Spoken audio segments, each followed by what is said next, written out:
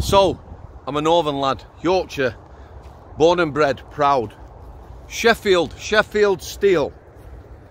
On the eve of the millennium, yeah, stood on RSVP door in Sheffield bouncing.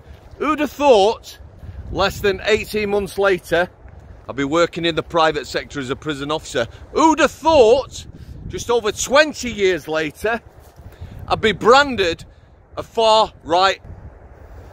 Going to talk about Scottish hate speech, hate laws. But who'd have thought it? Me? Traditional family values, respect your elders, you look after women and children, remember your manners, all that good stuff. Treat and speak to people how you want to be treat, treated and spoke to this end, yourself.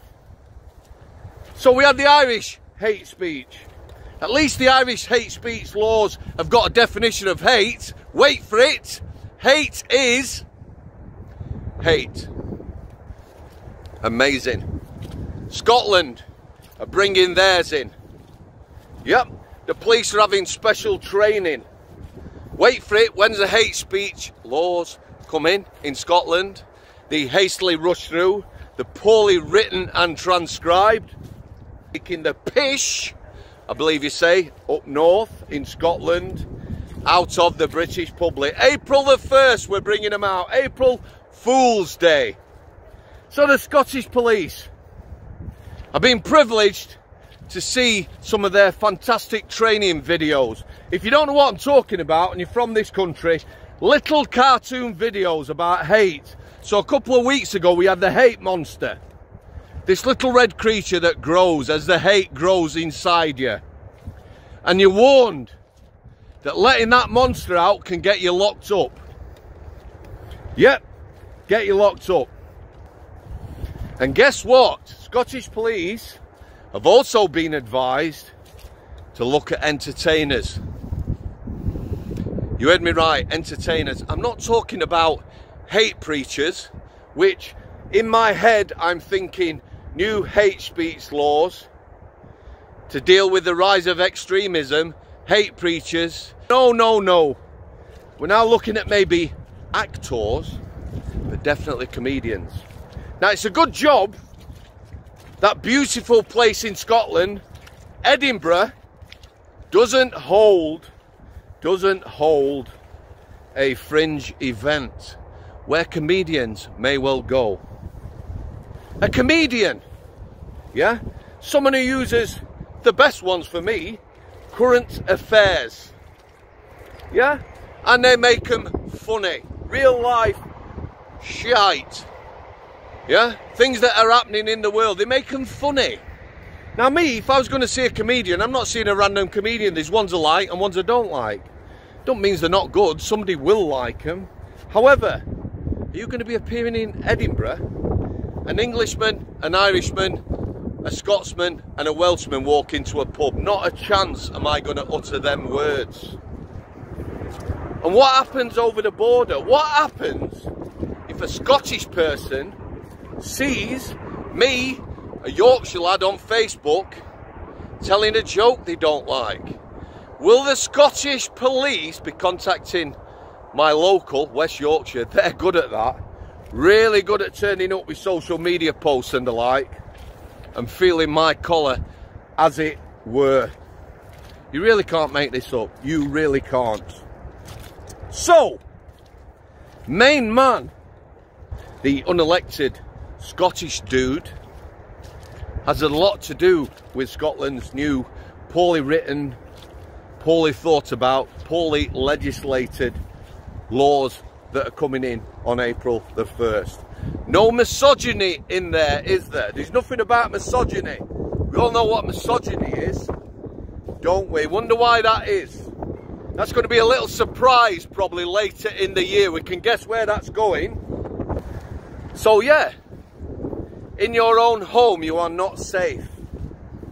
If someone is hurt or offended, and it's about time the British people as a whole, because me, yeah, I can take it. Someone's having a go at me, I can give it out and I can take it. You need to get a bit tougher hurty words and hurty feelings shouldn't be dealt with by the police. Man up! Can I say that?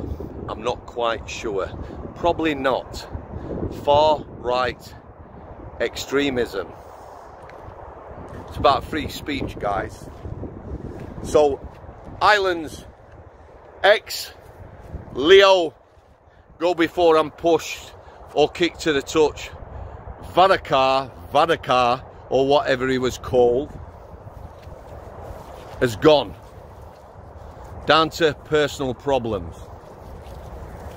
Some might say he's a globalist, part of the World Economic Forum agenda type person. Maybe, maybe he'll get a job with the ex-New Zealand Prime Minister who's now working for Tony Blair or someone similar. J.K. Rowling, living in Scotland, has said she will continue to speak truth, facts, facts, science and biologists She'll talk about them things. And the Scottish bobbies can gladly come and put her in cuffs. Yeah? She has the money, she has the following to take these people on. And they need taking on. It's not about extremism, is it? Or hate, or preachers, or anything like that, that are a concern. You know, that's what people are worried about. It's about making jokes. People being offended, hurt feelings. Like I said, nothing in there about misogyny. We know where that's going. And I'll tell you what, I'll tell you what it's about for me, not them. It's about damaged youths. Z, the most damaged bunch of individuals on the planet. We, not we literally, me and you, have played with their heads. Expectations high. They're not in the real world. They can be anything they want to be allegedly. They're not in the real world, they are damaged goods. We're preaching to them about the planet burning itself up and God knows what else. We need to help these kids, not go against truth, facts, biology and science. God bless you all. If you would like to become a channel member, link is in the description. Thanks for coming from me and main man Stephen is a beaut. I'll see there.